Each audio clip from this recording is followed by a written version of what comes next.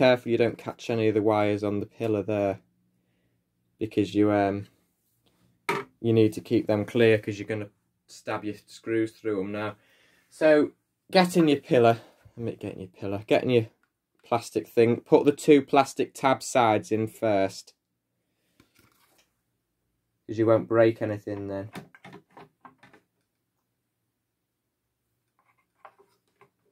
And there's two, I'll point that out to you, there's two little sticky up things there. Make sure your cable goes in between them.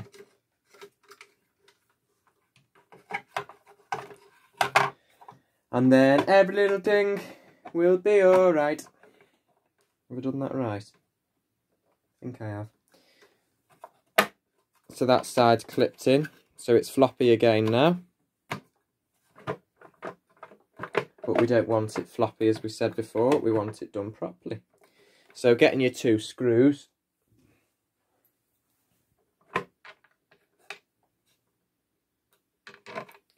Feed them back in the holes holes even, it's my accent, and tighten them up.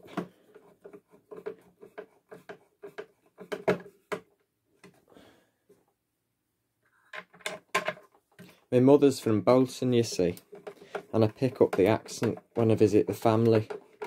So, some people think I'm from Bolton, although that's not the case. Right, so they're tight. Bit of muck build up in there. Ooh.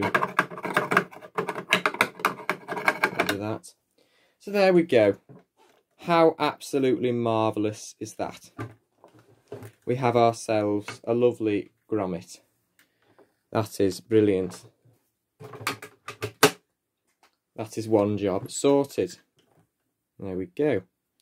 So I've decided I'm not going to do the plug on camera because you all know how to wire a plug. Well, most of you know how to wire a plug, and if you don't, there's other videos showing you. Um, this is just for the vacuum related repairs really and that sort of covers every general appliance. That's as unique to this cleaner. So I won't do the plug. So take one last look at the plug because you won't see it again. Although you will, it's just fallen right in the view. right, okay, so that is sorted. What we will do actually is we'll plug it in again to give it another go. But now it will work straight away. It won't have an intermittent connection because that is proper. So I'll move this round and you'll see it will work fine. Bring it closer so you can see. So I'm not lying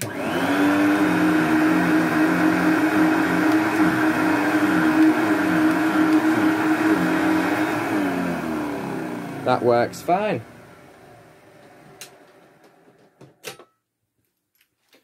no loose connection there so, what was the other thing I needed to do? Filters and bag. There should be a ring around there. People call it a donut. I don't know what the real name is. Maybe it is donut. A foam ring around there. And what that does, get in the bag, cheap paper pattern copy bag, is the foam donut seals around the bag because the, the bag doesn't have a latex seal like lots of models. It's just cardboard. So the foam sucks to there and makes sure there's no air leaks or anything when it goes on like that. Because that's what happens inside there. It just sits on and the foam keeps it on. Again though, as I said, sealed end bag. Because there's no bag clip with this machine. And the filters are absolutely filthy. See if you can see. You can't, it's too dark. Well, you will be able to see when I take them out. Because that is another one of our jobs, do the filters. So first off, it's just a um, this, this top foam filter. Well, it's a sponge, or is it? What is it? Anyway, it just sits on. That's probably hmm, doesn't have an air freshener. That's probably the original filter that went in this machine when it was brand new. I think it's genuine because it's got the air freshener pouch at the back there. That's just full of muck, a bit of hair on it there. It's just disgusting, really. Um, yeah, so there's that. And then down here, there is a filter fixed in by a screw. This is slightly more awkward, as you can see. You do have to put your hand right down. You can almost feel though when you've got the, I've got it, get the screw out. Then you can put your hand in. And there's the bottom filter. which just gets it. This is the fixed filter. I know that's the proper name. It's a fixed filter because the screw fixes it down. So keep your screw. Make sure you keep that. You want that because your new filter set does not come with a screw. So there we go. There's the fixed bottom filter and there's the top filter. They're both just like a sponge really. Well, they're not, are they? I can't think of the name. Anyway, you'll know what I mean. It's just a normal filter, nothing special about it. You can get these on eBay, the three quid a pack or one ninety nine a pack or something anyway. They're great. I always buy these for the twin turbo range, 500 series. So open in here. I'll show you the delights that we have inside. Why have I put that screw in my mouth? Should put it down there, shouldn't I? Daft date. Right,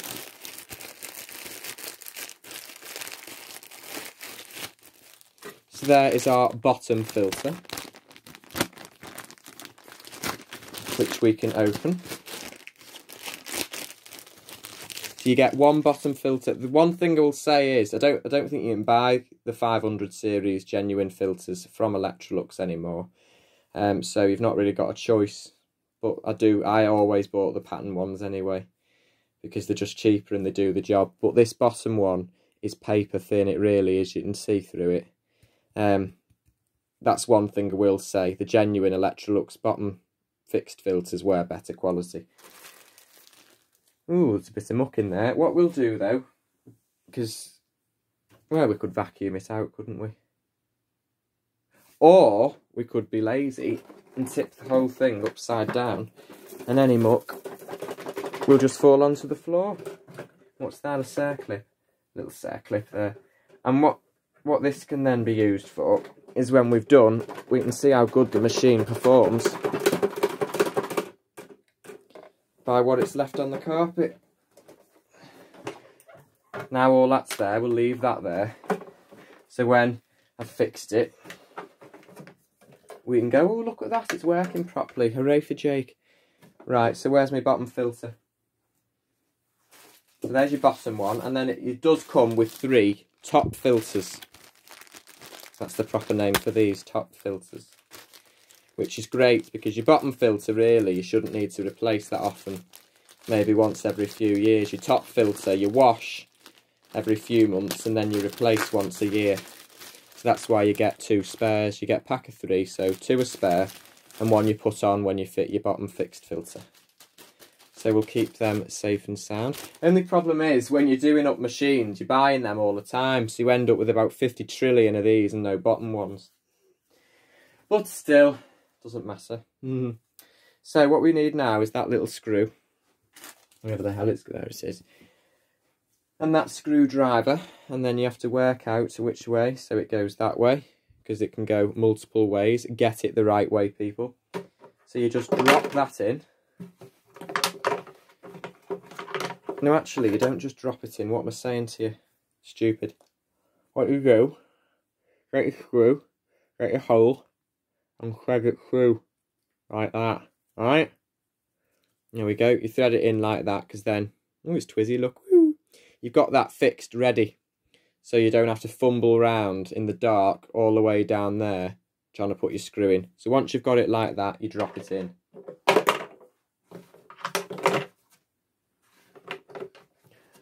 And once it's sitting right you start to put the screw in. And you will know when the screw catches thread because you can just tell when you're screwing it up. You'll know if it's caught thread or not.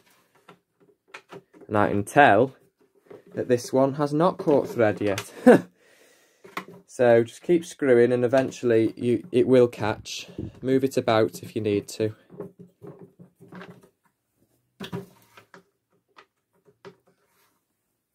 That screw's going down all the way and it's still not in.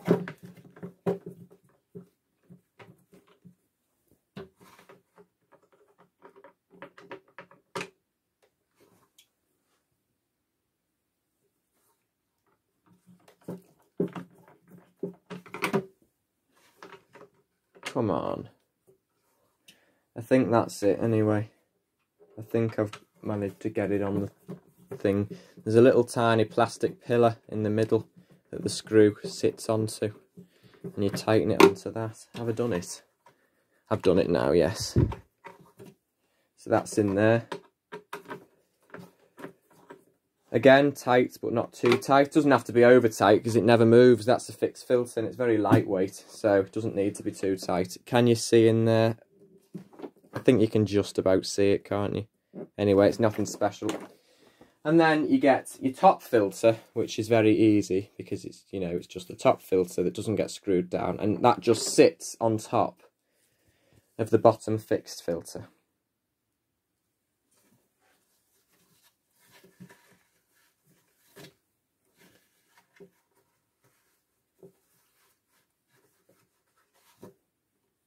Why is that not on? Oh, put it in back to front. There we go. Just turn it round. And that's in there. So that is the that's the only filters this machine has, as it is an airly type clean air upright. So it's not loaded with filters. And what's more, it doesn't need to be. That and the paper bag is adequate. So that's in there, lovely now. So you get your bag, whether you're like Mr. Roger Ibasiak using your proper, genuine, official Electrolux 500 series bags, reusable, or whether you're like me, using your cheap paper style, non-reusable pattern copy bags, put your bag in anyway. And it clips on to these two clips here. Great bag design this. So your bag just goes in there, slides all the way down, and then it clips on to these two plastic parts there. What I like to do, you don't have to, shove your finger in, round off the hole like that, and it makes it easier for when this top contraption here goes over there. So as I said, there should be like a sponge ring round there. If you're a collector, you'll know what I mean. So I'll have to find one. Well, I usually just buy a kitchen sponge and cut it up and ram it on. I think I've told you that before though because um, you can't get the original ones anymore. And like I said, it literally only is sponge, so why the hell not? So hopefully, I'll never see this woman again who gave this to me and said, oh, you know, it was my wedding present. But, um, you know, I told her what I do, so she knows it's gone to a good home anyway. So there we go. And as I said, I will do the plug off camera.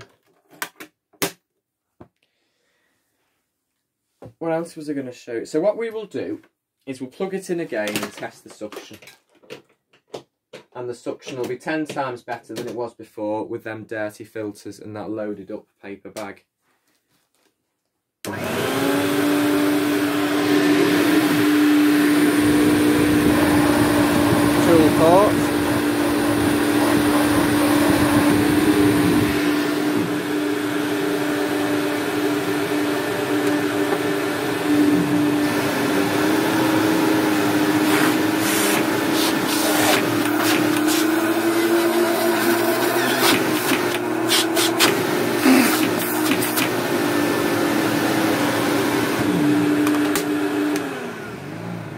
Nothing wrong with that, although now it is on the carpet, I can hear the belt slipping a bit, so it will need a new belt. But I've still got a few 500 series to fix, so we'll do a belt in another video. I just thought I would try filming a repair on this tripod, because I always do, you know, videos as I get the machines and show you them, but I never actually film the repairs, because I'm not the best at filming, so I thought I'd do something different. So what we will do is pick this tripod up, move it back so you've got a good view or the best view that I can get you and we'll take all the muck off these old filters, all this dust. God, there were layers of it. Like that, the filters can be ready for the bin. Oh, they're the new filters, new spare top filters, so we'll keep them. I'll put my screwdrivers back in the thing where they go. Keep everything tidy, that's always key. And we will try to vacuum up that mess. You can't really see it. It's a shame on the camera. You can see that big clump there though, can't you? Let's trot it in. You can see all the dust in real life, but it's a bit hard to see that through the camera. So let's see now with this, as I said it didn't need a new belt, but after turning it on properly on the carpet, I could tell it did actually, but we'll do that in a new video. Um, yeah, so let's see how it does with the belt, although we've done all the other stuff like we said.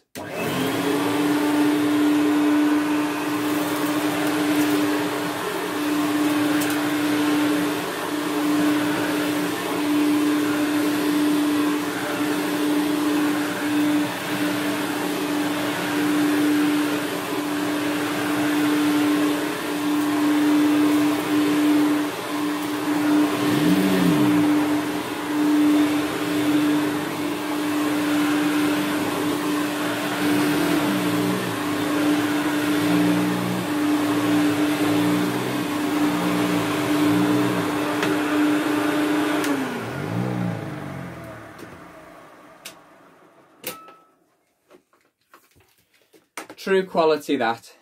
Even though it needed a new belt, it still got it all up with no problem whatsoever.